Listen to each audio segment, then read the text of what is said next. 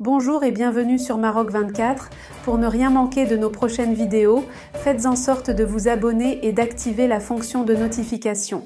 Aujourd'hui, le mercredi 29 novembre 2023, nous vous présentons la récente résolution adoptée mardi par le Sénat colombien affirmant fermement le soutien à l'intégrité territoriale du Maroc et à sa souveraineté sur son Sahara. Cette motion réaffirme le rejet catégorique du peuple colombien via ses représentants légitimes à la décision mal avisée du gouvernement actuel d'engager des relations avec la prétendue RASD. Restez avec nous pour plus de détails dans cette revue de presse tirée du site d'information l'observateur.info. En tant que sénateur et représentant légitime du peuple colombien, nous rejetons profondément cette décision mal avisée du gouvernement actuel, qui ne représente en rien la position des Colombiens à l'égard du Maroc, et nous réitérons notre position ferme de respect de la souveraineté et de l'intégrité territoriale du Royaume du Maroc, lit-on dans la motion adoptée par une écrasante majorité de 65 sénateurs sur les 105 que compte la Chambre haute du Congrès colombien.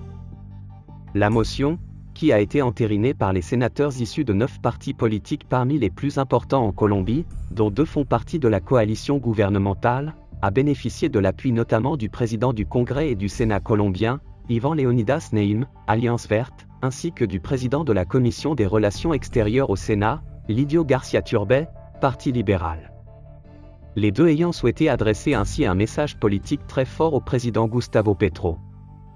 Dans cette nouvelle motion, qui fait suite à celle adoptée en octobre 2022, les signataires affirment rejeter catégoriquement l'établissement de relations diplomatiques avec le mouvement séparatiste du Polisario, et l'autoproclamée République arabe sahraoui démocratique et plus encore, la présence en Colombie de son prétendu ambassadeur.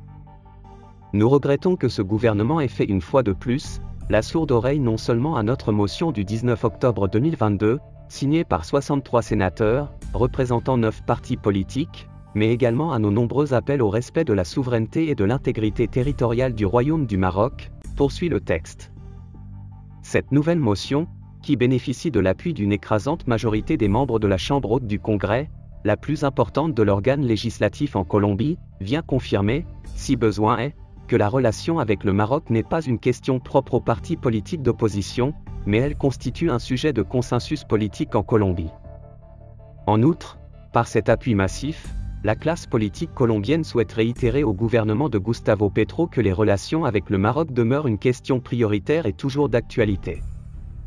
Les partis signataires de la motion sont le Parti libéral et le Parti Alliance verte, membres de la coalition gouvernementale, le Parti conservateur, le Parti de la U, le Parti Mira, le Parti Alliance sociale indépendante et Parti En Marche, indépendant, et enfin le Parti Centre démocratique et Parti Changement radical, opposition.